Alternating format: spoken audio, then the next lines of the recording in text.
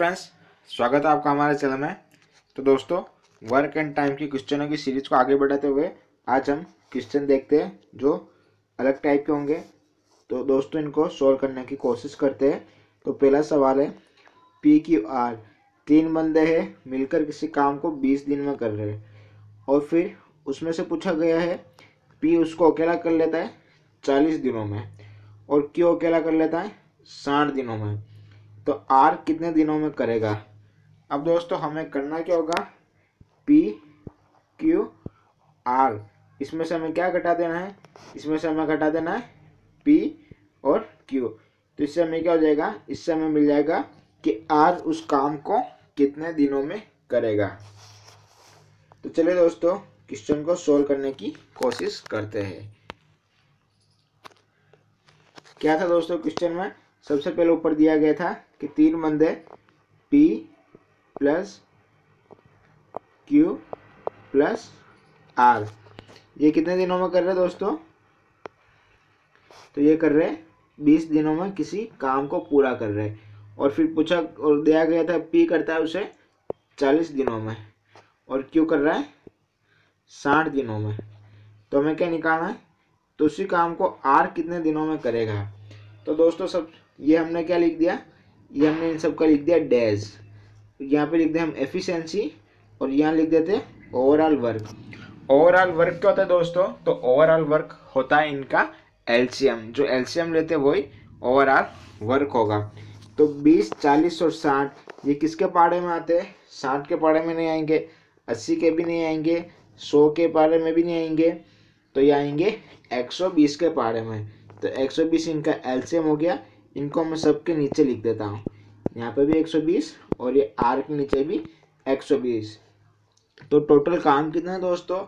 तो टोटल काम हो जाएगा 120 अब 120 को 20 से डिवाइड करेंगे तो कितनी बार जाएगा? तो ये जाएगा छः बार। तो इन तीनों की कार्य क्षमता कितनी हो गई? छः 120 में से 40 को डिवाइड करूँगा, भाग देंगे तो उससे आ जाएगी पी की कार्य क्षमता कितनी बार जाएगा? चालीस या एक सौ बीस। और साठ को डिवाइड करूँगा तो कितनी बार जाएगा? ये जाएगा दो बार। ये क्या आ गई दोस्तों? इनकी कार्य क्षमता आ गई। इन तीनों को कितनी? पी क्यू आर की। तो इनकी तो हो गई छः। पी की कितनी है? तीन। क्यू की कितनी है? दो। अब इस छः में से पी और क्यू को घटा दूँगा। तो इससे क्या हो जाएगा? तो आर की आ जाएगी? कार्य क्षमता छः में से पाँच जाएँगे। कितना बचेगा एक। पाँच कैसे हुआ दोस्तों? पाँच हुआ। एक तो ये तीन और क्यू का दो। ये हो गए पाँच तो छः में से घटाऊँगा तो क्या जाएगा? एक। अब एक सौ बीस को किसमें से डिवाइड कर दूँगा? एक में। तो आर उस काम को कितने दिन में करेगा दोस्तों? तो आर उस काम को करेगा एक सौ बीस दिन में। तो ये क्वेश्चन का आंसर हो जाएगा कि आर इस काम को एक सौ बीस दिन में पूरा करेगा। आगे बढ़ते दोस्तों। सवाल नंबर दूसरा देखते हैं। इसमें पूछा, दो बंदे हैं, अमन और रमन। काम को कितने दिनों में कर रहे तेईस दिनों में। फिर रमन और अमन उसी काम को कर लेते हैं, छत्तीस दिनों में। और अमन, मनन तथा अमन उसी कार्य को कर देते हैं, पैतालीस दिनों में। तो दोस्तों, अब बताइए कि तीनों मिलकर उस कार्य को कितने दिन में करेगा? अगर दोस्तों, अमन, रमन रमन, मनन और मनन, अमन को हम जोड़ दें तो यहाँ कितने हो रहे हैं? छः बार हो रहा है। पर हमें करना क्या है? तीन निकालना है कि तीनों मिलकर कितने दिन में करेंगे? तो चलिए दोस्तों, इस क्वेश्चन को भी सोल्व करने की कोशिश करते हैं। दोस्तों, एक तो ये सवाल हो जाएगा फॉर्मूले से। फॉर्मूला क्या हो जाएगा? Two into Aman into Raman into Manan फिर डिवाइड में क्या होएगा? Aman Aman into Raman plus Raman into Manan plus Manan into Aman अब इसमें हम इनकी वैल्यू रख देंगे तो इससे तो एक क्वेश्चन का आंसर हो जाएगा। पर दोस्तों, जैसे हम यहाँ पर गुणा करेंगे तो कैलकुलेशन क्या? बढ़ जाएगी। इसलिए हम कैलकुलेशन को भी इजी ही रखें। इसलिए हम उसको उसी ट्रिक से सोल्व करेंगे। एक तो दोस्तों, इस ट्रिक से हो जाएगा। और अब अगला देखते हैं, जो अपन ने पहले सवाल को करा था, उसी ट्रिक से। बंदे कितने हैं दोस्तों? तीन बंदे हैं। तो पहले कौन कौन मिलकर काम कर रहा है? तो पहले कर रहा है अमन और रमन। कितने दिन में कर रहे हैं? तो वो दिया गया था तीस दिनों में। फिर रमन प्लस मनन कितने दिनों में कर रहे हैं? तो वो कर रहे थे छत्तीस दिनों में। फिर था दोस्तों, मनन प्लस अमन, ये कितने दिनों में करेंगे? तो ये करेंगे पैतालीस दिनों में उसी काम को। अब क्या पूछा दोस्तों? कि तीनों मिलकर अमन, रमन और मनन, ये तीनों मिलकर कितने दिनों में करेंगे? तो सबसे पहले क्या करते दोस्तों? तीस, छत्तीस और पैंतालीस, ये किसके पहाड़े में आता है? तो नब्बे के पहाड़े में छत्तीस नहीं आएगा, पर तीस और पैंतालीस आता है। तो एक सौ बीस में भी नहीं आएगा, डेढ़ सौ में भी नहीं आएगा तो दोस्तों ये आ जाएगा एक सौ अस्सी के पहाड़े में छत्तीस आता है। छत्तीस पंजे एक सौ अस्सी। तो ये क्या हो जाएगा इनका? एलसीएम। यहाँ पे भी लिख देता हम इसके नीचे एक सौ अस्सी, इसके नीचे भी एक सौ अस्सी और इसके नीचे भी एक सौ अस्सी। अब दोस्तों इनकी कार्य क्षमता निकालना है तो एक सौ अस्सी में से तीस का भाग देंगे तो कितनी बार जाएगा? छः। ये छः क्या आया? अमन और रमन की कार्य क्षमता एक सौ अस्सी में छत्तीस का भाग देंगे तो कितनी बार आएगा छत्तीस पंजे एक सौ अस्सी तो ये पाँच बार। ये क्या आया? रमन और मनन की कार्य क्षमता और एक सौ अस्सी में से पैंतालीस को डिवाइड करेंगे तो पैंतालीस दूनी नब्बे और नब्बे दूनी एक सौ अस्सी तो ये जाएगा चार बार। ये आगे दोस्तों इनकी कार्य क्षमता अब हमें निकालना क्या है? अमन प्लस रमन प्लस मनन ये तीनों मिलकर इस कार्य को कितने दिन में करेंगे? तो हमें क्या करना है दोस्तों? पहले इसके नीचे लिख देते कार्य कितना है? 180 कार्य दोस्तों उस कंडीशन में चेंज होगा जब कोई किसी कार्य को बीच में छोड़कर जा रहा हो या बचा हुआ कार्य किसी को दे रहा हो। तो उस कंडीशन में कार्य चेंज होता है। पर यहाँ तो कार्य उतना ही है तो कार्य हम सभी के नीचे उतना ही लिखेंगे। अब दोस्तों इनकी कार्य क्षमता अगर मैं जोड़ दूँ तो छ, पाँच और चार, ये कितना हो रहा है दोस्तों? तो ये हो रहा है पंद्रह।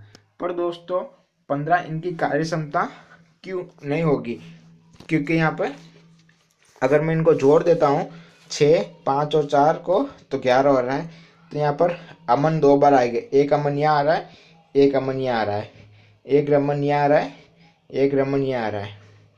और एक मनन यहाँ आ रहा है और एक मनन यहाँ आ रहा है। मतलब ये दोनों क्या हो रहा है? दो दो बार डिवाइड हो रहे तीनों बंदे। पर तो हम पंद्रह बाई कितना कर देंगे? टू कर देंगे। तो इससे क्या हो जाएगा? ये इनका एक एक बार आ जाएगा। अब कितना आ जाएगा दोस्तों? ये आ जाएगा साढ़े सात। अब साढ़े सात को एक सौ अस्सी में से डिवाइड करूँगा। तो कितना आ जाएगा दोस्तों? साढ़े सात और एक सौ अस्सी अठारह इक्कीस। तो यह आ जाएगा दोस्तों ट्वेंटी फोर आ जाएगा। तो ये ट्वेंटी फोर होगा तो दोस्तों तीनों मिलकर उसी काम को कितने दिन में करेंगे? तो चौबीस दिनों में करेंगे।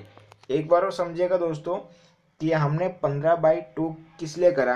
क्योंकि यहाँ जो बंदे हैं, ये दो दो बार एड हो गए क्योंकि रमन और अमन और रमन रमन और मनन और मनन और अमन। क्योंकि यहाँ बंदे दो दो बार एड हो गए, इसलिए इनको सिंगल डिजिट करना है। इनको सिंगल बदलना है। तीनों को एक एक बार में बदलना तो क्या? दो का भाग दे दिया। तब ये एक एक बार हो गए। उसके बाद हमने जो एलसीएम था ओवरऑल वर्क उसमें से डिवाइड कर दिया इनकी एफिशिएंसी को तो इनका डैश आ जाएगा। तो चलिए दोस्तों, ऐसा ही एक सवाल और देखते हैं, ताकि आपको पूरा समझ में आ जाएगा। अब ये सवाल क्या है दोस्तों? तो ये है विजय और साहिल मिलकर। एक काम को चालीस दिन में कर देते हैं। और साहिल और रंजीत मिलकर अड़तालीस दिनों में। और रंजीत और विजय मिलकर उसको साठ दिनों में कर रहे हैं। तो फिर क्या पूछा? तीनों मिलकर कितने दिन में करेंगे? बंदे याद कर लेते। विजय साहिल और रंजीत। चालीस अड़तालीस और साठ। ठीक है दोस्तों? तो बढ़ते हैं हम उसको सॉल्व करने के। चालीस अड़तालीस और साठ। याद रखिएगा। सबसे पहले क्या था? विजय प्लस साहिल। ये करते हैं चालीस दिनों में। फिर साहिल प्लस रंजीत। चालीस, अड़तालीस, ये करते अड़तालीस दिनों में। फिर था दोस्तों रंजीत प्लस विजय। ये था साठ दिनों में। अब हमें पूछा क्या है कि विजय प्लस साहिल प्लस रंजीत। ये तीनों मिलकर इस कार्य को कितने दिनों में करेंगे? तो दोस्तों, हमें क्या करना है? सबसे पहले चालीस, अड़तालीस और साठ, ये किसके पाड़े में आता है?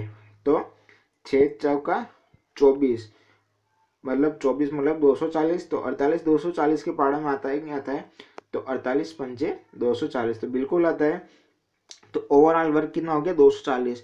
उनको हम इन सभी के नीचे लिख देते हैं, दो सौ चालीस दो सौ चालीस, दो सौ चालीस और ये दो सौ चालीस।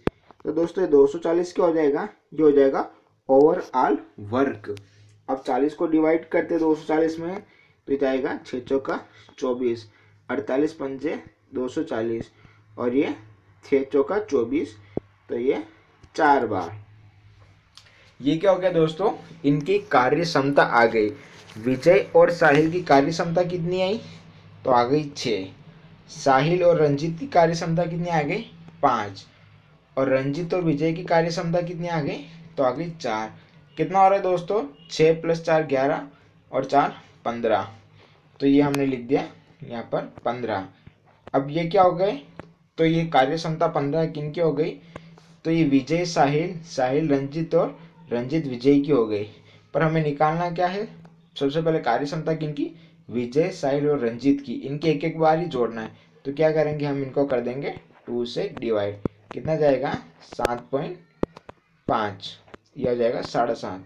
अब दो सौ चालीस को डिवाइड करूँगा कितना? साढ़े सात से। तो दोस्तों, कितनी बार जाएगा?